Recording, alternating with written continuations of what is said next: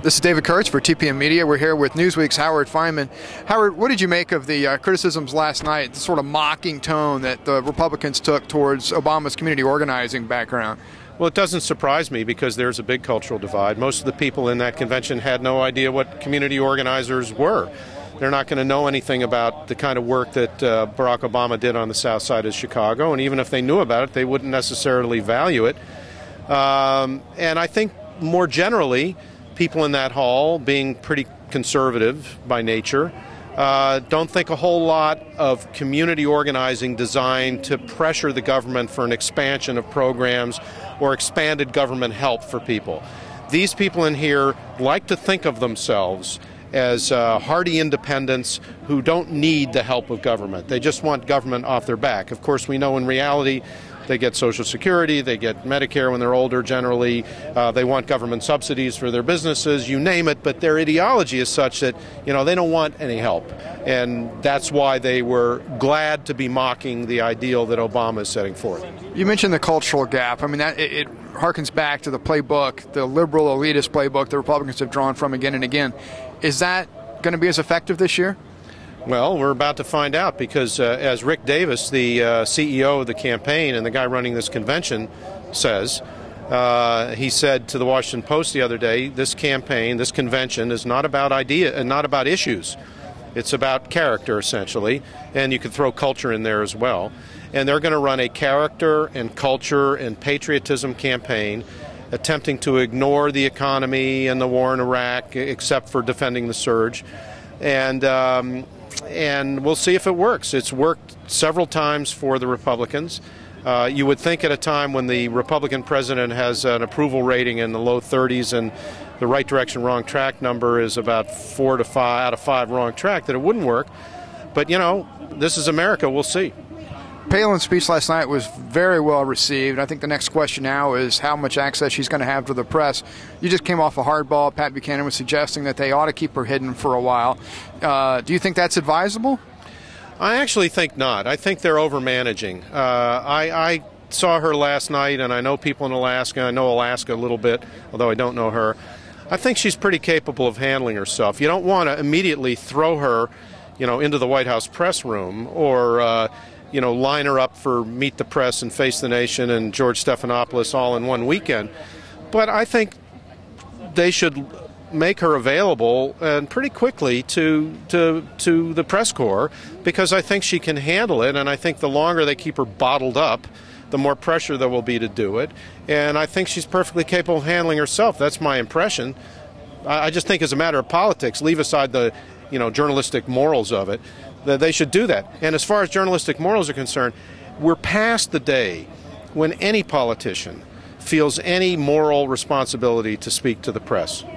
They, they feel they can communicate directly with the public in their own way, uh, in their own time, and they want to cut the so called mainstream media out of it. And uh, they're both trying very hard to do it. Not just McCain, Obama's doing the same thing cutting the mainstream media out, and this week here at the convention, launching a really aggressive attack on the mainstream media, media generally, media so broad as to include tabloids and whatnot, and sort of conflating yeah. uh, journalism and, and, tabloid journalism. And, and, you've been getting that pushback personally too from the campaign. Yeah, a little bit. I think what the, I think what they want to do is run against the quote mainstream media, even though there is no such thing as a unified monolithic mainstream media they want to run against the media with a capital M because it fits into their cultural campaign. Because most the networks and the big newspapers and magazines are based in New York City. Let's not forget. Uh, the entertainment industry is in Hollywood. Those are two very democratic blue areas. And so for this crowd, they're saying, look, our enemies are uh, on the other side of a culture war, and they include the media. So the media, for the most part, is uh, is listed among the enemies inside that hall. Uh, i think it's unfortunate. I don't think it's justified. I think it's unfair. Uh, but you know, occasionally we give them just enough rope that they can try to hang us with. So we have to be careful. In this case, what what have you gotten pushback from them on specifically? Well, uh, out of the blue, as far as I'm concerned, uh, they accused me of going around town predicting last Monday or Sunday and Monday that Sarah Palin would have to get out of the race. because uh, there would be revelations or she couldn't bear the scrutiny. I never said any such thing as uh, it was a complete lie on their part. I never said any such thing. As a matter of fact, in what I read, what I wrote for the web, and what I said on the air, I was quite complimentary of her because I know people in Alaska who know her. I said no such thing.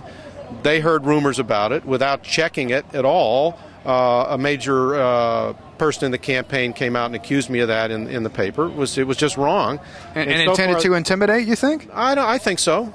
Sure. I don't know why else they would have done it without checking with me first, without seeing whether it was true, which was not. Uh, and they had no proof whatsoever, and they've yet to apologize for it.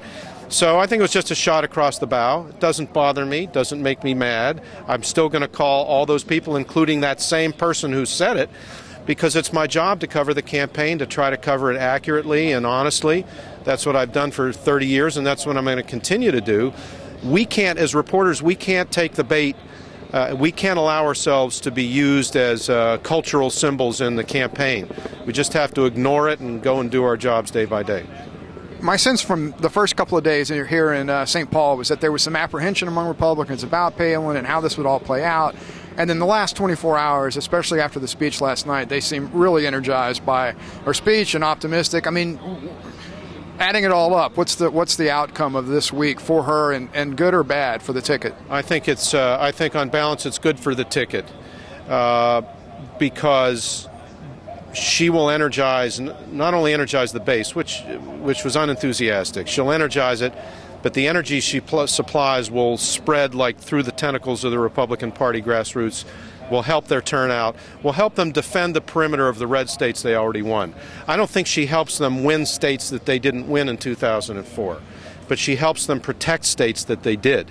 Colorado, Virginia, yeah, states like that? Yeah, well, uh, Virginia, yes, I think Colorado's tough uh, but maybe even here. Don't forget, there's a lot of drillers and hunters in Colorado. Colorado's just not all Boulder and Denver.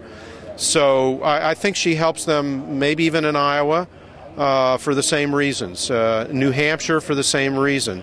So uh, I, I, think I think it was exciting. I think it's the it's the most exciting pick he could have done.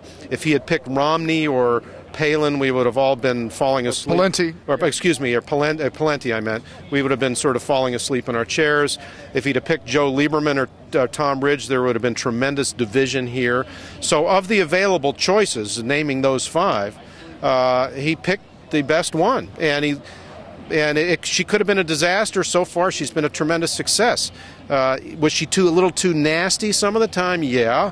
But the, the people in the hall love her absolutely, and they're all they're all going to be excited when they go home to their states to work for the ticket. Thank you, Howard. Okay. This is David Kurtz with Howard Fineman in St. Paul.